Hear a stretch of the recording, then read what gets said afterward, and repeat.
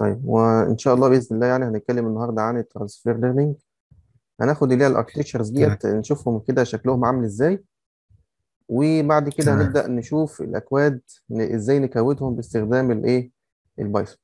طبعا باستخدام ال- تمام. ال Keras والحاجات دي كلها. طيب فإن شاء الله هنتكلم عن ال MobileNet وال AlexNet وال VGG 16 وفي منه نسخة تانية أكبر شوية من VGG 16 ديت وفي ResNet آه، 50 ودولت أشهر أنواع ال transfer learning الموجودين حاليا آه، والناس كلها يعني إيه بتحاول إن هي تستخدمهم عشان آه، طبعا ليهم مميزات. المميزات بتاعتهم هي بتقلل لك في ال time بتاع ال training لأن أنت بتاخد أصلا pre-trained model يعني أنت بتحاول إنك تاخد pre-trained model مدرب بالفعل ومع ال weights بتاعته بس أنت بتحاول تعمل حاجة اسمها adaptation يعني بتحاول تاخد آخر layer أو آخر ثلاثة أو آخر أربعة أو آخر خمسة على حسب آه، الشغل بتاعك أو على حسب ال data set إيه. وأنت بتدرب بس مم. ال layers الأخيرة دي بس لكن بتعمل حاجة اسمها freezing ل لكل ال layers اللي قبل كده. طيب هناخد طبعا مقدمة عن الموضوع الأول وبعد كده نبدأ نشوف الأنواع إيه. فبيقول لي هنا ال transfer learning هو عبارة عن machine learning method طريقة من طرق من machine learning where a model developed for a task is reused. يعني بيبقى في موديل أصلا موجود وموجود ل آه، task موجودة في الحياة يعني. وديت. اللي أنت بتستخدمها as a starting un- آه، point عشان تبدأ تعملها customization على data خاصة بيك أنت. ماشي؟ يعني انت بتحاول تستخدم ال transfer learning model ده عشان تعمل عليه آه تدخل عليه data custom خاصة بيك انت وانت بتحاول إيه؟ تدرب ال lower layers بس. طيب بيقول لك common examples of transfer learning in deep learning when to use a transfer learning on your own predictive modeling problems. يعني طبعا لسه لسه قايله من شوية انه بيقول لك بيبدأ تستخدم ال transfer learning models ديت عشان تعمل prediction لل problems بتاعتك أو عشان تحل المشاكل الموجودة في المشكلة اللي معاك دلوقتي اللي هي أصلا ملهاش علاقة بالموديل بتاع ال pre-trained model ده أساسا. أنا بستخدمه ك tool أو بستخدمه ك starting point الكلمة دي حلوة على فكرة. بستخدمه ك starting. point عشان أحل المشكلة بتاعتي أو عشان أعمل customization model على ال- ال- ال data بتاعتي.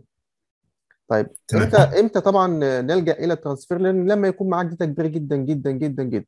وأنت آه، لو جيت عملت model from scratch فأنت متوقع إنك تاخد time كبير جدا.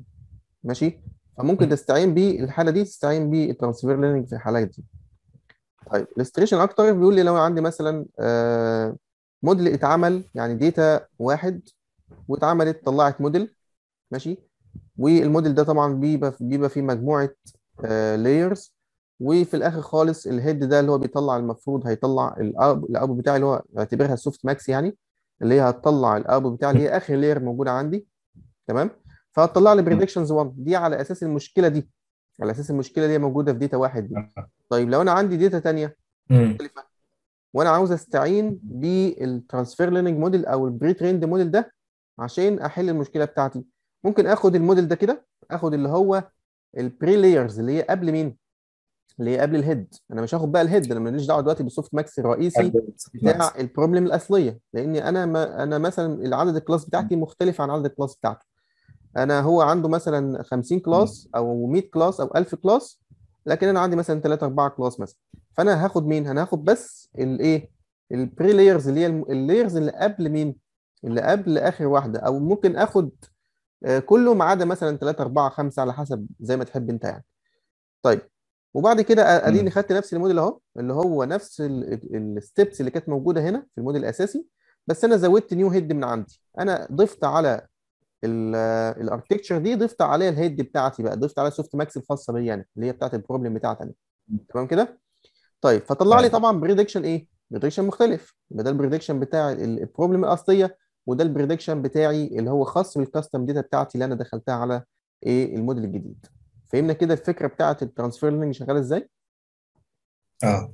طيب تعالى نشوف برضو شوية تفاصيل. بيقول لي reusing pre-trained layers. أنت عشان تستخدم بقى ال pre-trained layers ديت بيقول لي it's generally not a good idea to train a very large DNN from scratch. طبعا أنت بتلجأ لل transfer learning في الحالة دي لما يكون عندك data كبيرة جدا وانت مضطر تعمل آه، مضطر تعمل يعني model from scratch وطبعا انت متوقع إن تاخد time كتير جدا فانت إيه في غنى عن الكلام ده كله ممكن تستخدم الايه ال pre-trained layers طيب بيقول هنا try to find an existing neural network that accomplish a similar task. طبعا لما تيجي تعمل آه، تستخدم نوع من أنواع ال transfer learning ايا كان النوع ده إيه آه لازم تشوف حاجة قريبة لازم تشوف وهو بيعمل حاجة قريبة من الحاجة اللي أنت عاوز تشتغل عليها. يعني مثلا آه. انت آه عاوز تصنف مثلا ما بين ال cat وال dogs مثلا. cat وال dogs. تمام؟ طيب. يبقى لازم تختار نوع من أنواع ال transfer learning اللي هو بيبقى من ضمن التصنيفات بتاعته حاجة شبيهة للحاجات دي. حاجة شبيهة لل cat وال dogs يعني الحيوانات عموما. يعني تحاول تدور على نوع من أنواع الموديل اللي هو بيعمل تصنيف أساسا لحيوانات. ماشي؟ من آه. من ضمن ال classes بتاعته حيوانات يعني مش لازم يكون بيعمل تصنيف الحيوانات بس تمام أيوة. لأن هو أساسا معمول إن هو بيصنف حاجات كتير جدا يعني مثلا عندك الأنواع اللي هي مستخدمة حاليا الموجوده حاليا في ال في ال في, في الشغل يعني أو موجودة حاليا في في السوق اللي هي بت- بتعمل classification ل 1000 class فطبعا 1000 آه. class ده ممكن يطلع لك ال cat ويطلع لك ال dog ويطلع لك الشجرة ويطلع لك القطر ويطلع لك الحصان ويطلع لك المية ويطلع لك كل حاجة تخيل 1000 class مم. يعني أنت لو أنت موجود في مكان كده أنت لو عديت الحاجات اللي حواليك يعني عمرك ما تعرف تطلع ال1000 دول. بس أنت هو ال1000 دي تعملها عشان جايب حاجات كتير جدا من الحياة جايب حاجات كتير جدا من اللي إحنا بنشوفها في إيه؟ في حياتنا ال- الواقعية أو حياتنا اللي إحنا عايشينها. آه. ده طبعا هيبقى مناسب لو أنا هعمل classification مثلا ل cat و dog بس. يعني أنا أنا عاوز دلوقتي أستخدم pre-trained model عشان اعمل classification ل cat و dog بس. ما هو أصلا هو معمول إن هو من ضمن ال class ال classes اللي موجودة عنده هو بيصنف برضه cat و dogs ماشي؟ بس أنا عاوز أخصصه بقى لحاجة زي كده. يبقى دي يبقى دي. فعلا إيه؟ يبقى ده حل مناسب ليك إنك تختار نوع من أنواع ال transfer learning عشان تحل لك المشكلة دي. مم. ف reusing the lower layers of this network يعني استخدام ال layers اللي هي قبل ال softmax يعتبر إن دي. ال softmax اللي هي ال layer الأخيرة كده انت استخدمت. طالما استخدمت ال layers دي بدون ما تعدل في ال weights انت ممكن تعدل في ال weights الأخيرة بس أو ممكن تعدل في 3 4 من اللي ورا دول تعمل لهم training والباقي كله تعمل له حاجة اسمها freeze ماشي؟ ده اسمه إيه؟ ده اسمه transfer learning تمام كده؟ طبعا كل ده هنعرفه لسه إيه برمجيا بيتم إزاي. طيب example بسيط. عندي هنا existing deep neural network for task A دي task 1 ماشي؟ فعندي هنا input layer خدت آه. عرفت الصور مثلا بتدخل كام في كام في كام وبعد كده أدي ال hidden الأولى والثانيه والثالثه والرابعة والخامسة والإيه وال output بتاعها. طيب أنا دلوقتي عاوز أعمل new deep neural network for similar task شفت الكلمة دي؟ similar task عشان كده آه. قلت لك لازم عشان تختار نوع من أنواع ال transfer learning لازم تكون حاجة قريبة من الحاجة اللي أنت تعمل لها classification أصلا. ماشي؟ آه. طيب. فدي ال task B ودي task A؟ أنا ممكن أعمل إيه؟ أنا ممكن آخد ال input layer ممكن يعني أخلي نفس ال input اللي بيدخل ليه ال- ال- الموديل ده هو نفس ال input اللي أنا هدخله على ال- الموديل الجديد بتاعي هاخد مثلا أول وثاني وثالث layers يعني هاخد الأولى اللي هي hidden layer 1 و2 و3 اخدهم زي ما هم كده typical احطهم في الموديل الجديد بتاعي ماشي بقوم مزود أنا من آه. عندي بقى واحدة hidden زيادة من عندي ملهاش علاقة بال- بالموديل الأساسي ومغير في ال output بتاعي مظبط في ال soft. max بتاعتي على حسب عدد ال class الإيه ال classes اللي موجودة عندي. طيب اللي إحنا عملناه ده معناه إيه؟ تمام. لو إحنا جينا نقسمها كده ده ال input layer خلاص إحنا عارفينه اللي هو مثلا الصورة بتاعتك كام في كام في كام. طيب ال hidden layer الأولى والثانيه دي دي حاجة آه. اسمها fixed weight يعني ال weights اللي هي اتدربت عليها ال- أو ال layers اللي اتدربت على ال hidden layers دولت هتبقى تفضل ثابتة زي ما هي. تمام؟ طيب اللي هم اللي هو واحد واثنين وثلاثة. طيب بعد كده هتلاقي في hidden layer دي اللي هيعملها إيه؟ دي اللي هتعملها training دي اللي هتعملها initialize بقيم random في الأول خالص لل weights ودي اللي هتتعمل لها إيه؟ training هتكمل على الايه الجزء اللي هو اللي هو ثابت موجود عندي. طيب وال output ده اللي هو إيه؟ اللي هو فيه ال softmax مثلا لو أنت بتصنف ما بين cat و dog على حسب إيه؟ نوع ال problem بتاعتك شكلها إيه. طيب بيقول لي هنا دي deep neural network that was trained to classify pictures into 100 different categories مثلا. يعني أنت عامل ديت 100 different categories بس أنت عاوز تدرب موديل جديد مثلا بيصنف حاجتين اتنين أو ال types بتاعت ال vehicles مثلا اللي هو أنواع الإيه؟ المركبات. طيب فأنت لازم تعمل حاجة اسمها freezing لل lower layers weights freezing ديت ده اسم العلمي الاسم العلمي عشان أثبت ال weights بتاعتي. أنا هثبت ال weights بتاعت واحد واثنين ثلاثة يبقى أنا عملت لها حاجة اسمها freezing طيب في حاجة تانية اسمها tweaking أو dropping or replacing the upper layers. يعني إيه الكلام ده؟ يعني أنا هنا أنا ما أخدتش ال hidden layer 4 وما خدتش ال hidden layer 5 وما خدتش ال output يبقى أنا عملت لهم إيه دلوقتي؟ عملت لهم drop أنا شلتهم خالص من الموديل بتاعي. الجديد. يبقى ده إيه؟ دي كلمة dropping و replacing أو أستبدلهم. زي ما أنا استبدلت 4 و5 بمين؟ بواحده جديدة اسمها 4 خاصة بمين؟ خاصة بالموديل الجديد بتاعي.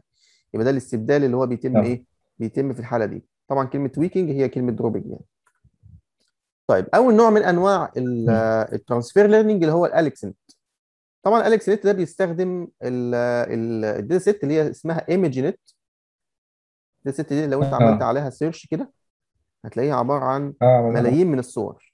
ملايين مم. من الصور. طبعا كل شركة بتتنافس إنها تعمل موديل يصنف الصور الملايين دول. ماشي؟ فأنت عندك ناس طلعت AlexNet. ناس تانية طلعت MobileNet ناس تانية طلعت ال VGG ب two versions version 16 وواحد 32 وناس طلعت ResNet 50 وناس طلعت حاجات تانية إيه مختلفة اللي هو ال Inception بقى والايه والحاجات دي. طيب طبعا الحاجات اللي هي الموجودة قدامنا دي ال AlexNet مثلا ال layers الموجودة قدامك دي أنت عارفها كلها. يعني هي عبارة عن إيه؟ هي عبارة عن الصورة بتاخد 227 في 227 في 3 زي ال layers اللي أنت إيه اللي أنت عملتها custom في ال CNN بالظبط. بس هنا عملوا موديل بطريقة معينة حطوا layers بطريقة معينة حطوا kernels بعدد معين حطوا strides بقيم معينة ال max pooling محدد بطريقة معينة فظبطت معاهم وطلعت معاهم نتيجة كويسة جدا. ماشي؟ فده 227 في 227 في كام؟ في 3 دي الصورة اللي هي الايه؟ المفروض اللي تدخل ك input. تمام كده. طيب. فهو بعد كده قام عامل قال لك أول layers عندي أول layer اللي هي convolution layer هيبقى فيها 96 kernel ماشي؟ مم. 96 kernel ال stride بتاعي اللي هو 4 ماشي؟ والفلتر آه الفلتر بتاعي هيبقى كام؟ في كام؟ 11 في 11 ماشي؟ ده اللي إحنا كنا زي ما إحنا كنا محددين مثلا في ال CNN كنت بقول لك 3 في 3 فلتر وعاملين آه. مثلا إيه؟ هيضرب كام مرة؟ اللي هو واحد ولا اثنين وثلاثه هنا عامل 96 مرة. يعني هيضرب 96 مرة فهيطلع إيه؟ هيطلع الجزء اللي هو ال ال الجديد أو الناتج اللي هيطلع من الضرب ده هيطلع إيه؟ بالشكل ده كده. طيب آه. عامل بعد كده layer اللي هي max max pooling يعني كل layer بيبقى فيها convolution max max pooling ال max آه. pooling مثلا اللي هو آه عامله 3 في 3 وال stride بتاعك بإيه؟ بحركتين اتنين اللي هو إيه؟ بيتحرك 2 pixels إيه؟ كل مرة. اللي هو ال max pooling ده بيعمل إيه أصلا؟ اللي هو بيقلل لي في عدد ال pixels يكون بياخد كل آه. مثلا 3 في 3 دي يعني 9 يعني كل 9 بيكسل هاخد منهم بس إيه؟ ال maximum بتاعة التسعة دول. فطبعا آه. هتلاقي إن إيه؟ هتلاقي إن ال- ال- الصورة بتقل أو ال features بتقل معاك. كل مرة. هتلاقي إيه؟ بتقل معاك. طيب بعد كده عامل convolution جديد طبعا ال convolution لما بيتضرب من هنا 256 kernel فطبعا هتلاقي الطول أو ال depth بتاع ال kernels اللي طالعة أو الناتج بتاع ال kernels اللي طالعة كبير شوية. اللي هو 256 output طالع لك. ماشي؟ آه. تمام؟ طيب. آه. هنا طالع 96 الو- ال depth ليه؟ لأن هنا 96 kernel فكل kernel من ده بينضرب في الصورة دي ويطلع لك جزء من الصورة اللي هو الجزء الأولاني أهو. ماشي؟ بعد كده هتلاقي. الجزء الثاني وراه. ماشي الجزء آه. الثالث الجزء الرابع وهكذا وانت ماشي بقى تمام مم. طيب تمام. وبعد كده عامل مثلا max pooling 3 في 3 stride برضه وعامل بعد كده كده convolution 3 في 3 اللي هو الفلتر 3 في 3 وال padding عامله هنا بواحد وعامل هنا 384 kernel طبعا الكلام ده كله الأرقام دي كلها هم حاطينها نتيجة ال experimental اللي هم ال experimentation اللي هم عملتوها اللي هم عملوها أصلا عشان يطلع نتيجة آه. أفضل يعني طيب بعد كده قام عامل. convolution وعامل بعد كده max pooling convolution max pooling وهكذا لحد ما وصل لمين؟ لل fully connected إيه ال fully connected اللي هو بيبدأ ياخد بقى كل البيانات اللي موجوده عندنا هنا دي اللي هي 256 في 6 في 6 عشان يحطهم كلهم فين؟ في ال fully connected هو عامل واحدة fully connected وبعدها كمان واحدة fully connected وبعد كده softmax يبقى ده كله آه. ده كله الجزء ده كله ده ال feature extraction اللي هو لحد هنا كده. ماشي؟ وبعد كده آه. قام عامل دخله. على ال fully connected layer ماشي وال softmax في الآخر يعني. يبقى ده ال training بيتم في الحالة دي وكل ده إيه؟ ده ال features اللي هي طلعت من إيه؟ طلعت من الصور لحد الإيه؟ لحد الجزء ده كده. ماشي كده؟ آه. يبقى ده الاليكس تمام. نت مرتب بط- بطريقة معينة حاطط convolution بطريقة معينة بأرقام معينة وبعد كده max pooling convolution max pooling ولكن الأرقام مختلفة فهو مطلع إيه؟ آه، الشكل اللي أنت شايفه ده كده. طيب هنا. بيقول لي إن هو بي consist بيتكون من خمسة convolution layer وثلاثه fully connected إيه ثلاثة fully connected layer ماشي. classify طبعا تمام. أي- 1000 class بيشتغل على 1000 class لأنه بيشتغل على data set اللي هي إيه ImageNet فال ImageNet دي أساسا فيها 1000 class. والصور الموجودة بالملايين عشان تقدر إنك تعمل training وما يغلطش الموديل بتاعك طبعا هم مطلعين بنسب معينة يعني طيب. بعد كده ال VGG برضه اشتغل على نفس الكلام فقال لك أنا هعمل إيه أنا عندي ال convolution layer آه ال input بتاعي هيبقى 224 في 224 تمام؟ طيب هي تمام. 224 في 224 في 3 طبعا هو بياخد إيه؟ 224 في 224 في 3 ماشي؟ آه. طيب 3 دي عشان هو بيشتغل RGB آه. وبعد كده أول convolution layer ده ال convolution layer اهيت ماشي؟ فيها 64 kernel مثلا. تمام؟ مم. 64 kernel بيتضرب طبعا ال 64 kernel اللي هو 64 فلتر يعني. والفلتر ده بيبقى معروف طبعا اللي هو كام في كام. وبعد كده بيطلع لك ال max pooling أهو ده الأحمر ده أو أو الجزء اللي في النص ده ال max pooling. فنتيجة ال max pooling هيطلع لك آه. القيمة الجديدة دي اللي هي 100 112 في إيه؟ في 112 طبعا الصورة في الأول كانت 224 في 224 إزاي طلعت 200 112 طيب تعالى دلوقتي نحسبها بقى إزاي طلع من 224 في 224 في 3 طلع ال 100 112 دي. طيب دلوقتي في قانون بيقول لي إيه القانون ده عبارة عن بيقول لي في n plus 2 p ناقص f ماشي على s كل ده زائد واحد. هنشرح كل حاجة من دي دلوقتي. طيب ال n ده اللي هو ال dimension بتاعك اللي هو هيبقى الأساسي بتاعك اللي هو 224 يبقى لو إحنا حطينا هنا وعوضنا عن 224 لو جينا هنا مثلا قلنا هيبقى 224 plus. طبعا لما جينا نبص على ال- ال- ال padding بتاعتنا لقينا ال padding في ال VGG بيشتغل the same طيب تعالى نفصل الدنيا شوية كده. ال convolution نفسه ده آه، لو إحنا جينا بصينا على ال filter size بتاعه ال filter size الفلتر بتاعه بيشتغل 3 في 3 ده الفلتر اللي هو ال kernel يعني 3 في 3 وبيتطبق تا- 64 مرة عشان كده مكتوب هنا 64 طيب لو جينا نبص على ال stride اللي هو بيتحرك بيها بيتحرك بخطوة إيه؟ خطوة واحدة بس اللي هو قيمة إيه؟ قيمة واحد.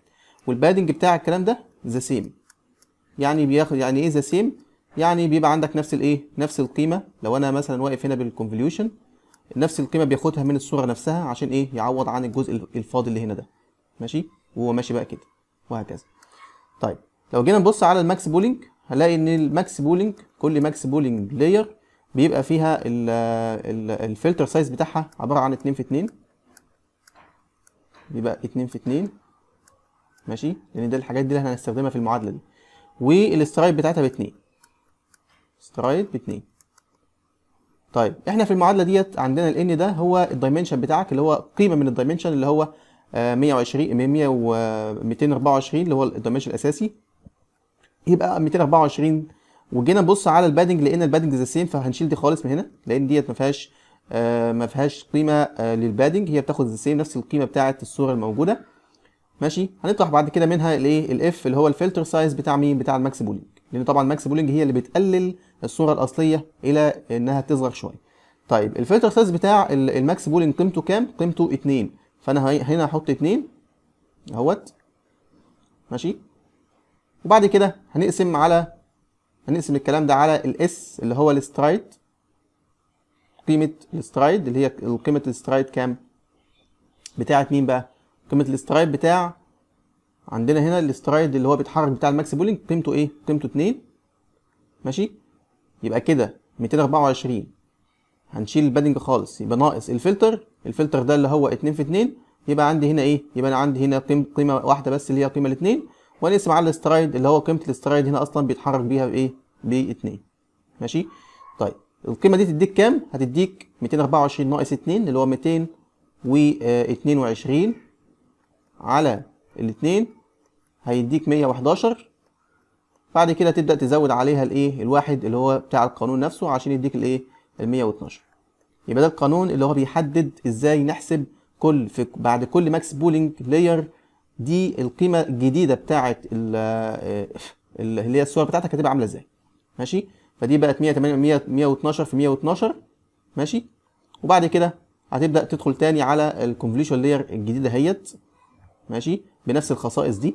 ديت الخصائص بتاعه ال convolution layer ودي الخصائص بتاعه ال max pooling layer تمام؟ وده القانون اللي إحنا بنحسب بيه الايه القيمة الجديدة بتاعه الصورة اللي هتطلع بعد عملية max pooling في كل مرة. فاحنا عندنا هنا 1 max pooling عندنا 1 max pooling واحد max pooling واحد max pooling واحد max pooling وكل ده إيه؟ convolution اللي هو convolution واحد convolution اتنين convolution تلاتة convolution أربعة convolution خمسة وهكذا. وبعد كده في max pooling أهوت وبعد كده fully connected layer عبارة عن ثلاثة layer fully connected طيب زي ما إحنا شايفين كده إحنا عندنا two versions من ال VGG ال VGG 16 وال VGG 19 طيب 16 دي جت منين؟ عد عدد ال layers الموجودة عندي. تعالى نعد عدد ال layers كده هتلاقي إن أنت عندك ال fully connected layer دي عبارة عن واحد اثنين ثلاثة ال max pooling ما تعتبر- ما تعتبرش layer هي عبارة عن computation بس. وثلاثة أربعة خمسة ستة سبعة تمانية تسعة عشرة حداشر اتناشر تلاتاشر أربعتاشر خمستاشر. ماشي؟ وال input layer طبعا بتعتبر layer برضه يبقى كده عندك إيه؟ 16 layer لو جيت حسبت ال VGG 19 هتلاقي أنت عندك أدي 3 3 و4 7 و4 كمان يبقى 11 و2 يبقى 13 و2 يبقى 15 وعندك هنا الثلاثه دولت اللي هو كده 18 كده ناقص واحدة يبقى إحنا عندنا هنا 3 آه هنا 4 همت يبقى 3 و4 7 و4 كمان يبقى 11 12 13 14 15 16 17 18 مش عارف هو بيعتبر ال softmax ده layer ولا إيه. طب تعالى نعد دول تاني كده. عندنا هنا أدي 3 4 5 6 7 8 9 10 11 12 13 14 15 16 ماشي؟ ممكن يكون الصورة ديت ناقصة بس layer من ال layers بتاعتنا. ممكن يكون مثلا في convolution layer موجودة في الأجزاء دي كده عشان تكمل 19 يعني. المهم إن إحنا عندنا دلوقتي VGG 16 و VGG إيه؟ 19 ده two versions من إيه؟ من ال VGG تمام كده؟ ResNet نفس الكلام بس بإيه؟ برضه بأشكال مختلفة. زي ما إحنا شايفين كده 224 لازم تدخل لو هتستخدم ال ResNet ال 50 ده لازم تدخل له ال size بتاع الصورة لازم يكون نفس ال size ده. فأنت مضطر تعمل resize للصور بتاعتك بنفس الايه بنفس ال input ده. اللي هو 224 في 224 في 3 طيب بعد كده هو مستخدم convolution اللي هو 7 في 7 ده الفلتر و64 فلتر. أما أدي أدي convolution وبعد كده convolution رقم 2 ماشي؟ نستخدم فيه ثلاثة ثلاث أنواع من ال filters اللي هي واحد في واحد وثلاثة في ثلاثة وواحد في واحد. بس كل واحد من ده الأولاني 64 مرة والثاني 64 والثالث 256 مرة. وبعد كده في convolution في convolution في convolution ماشي؟ وبعد كده في ال fully connected إيه؟ layer عشان يطلع لك الإيه؟ يطلع لك إيه ال fully connected layer بتاعتك. وهنا أنت شايف إن هنا مفيش max pooling يعني. فده النوع اللي هو بتاع مين؟ بتاع ال ResNet 50 وطبعا مم. ال MobileNet آه، MobileNet فيه تفاصيل على فكرة يعني لأن ده research أساسا. آه، في آه، مفهوم اسمه ال depthwise separable convolution دي حاجة بس ادي لك معلومة عليها معمولة عشان يبقى حاجة خفيفة جدا ويطلع output خفيف جدا عشان بعد كده استخدموه في الموبايل. يعني أيوة. آه، ال MobileNet ده معمول أساسا يبقى lightweight كده بحيث إن هو لما تطلع الموديل ده أنت ممكن تستخدمه في ال Android وال iOS آه ماشي فهو حاجة كده مخففة من الأنواع اللي أنت شفتها قبل كده.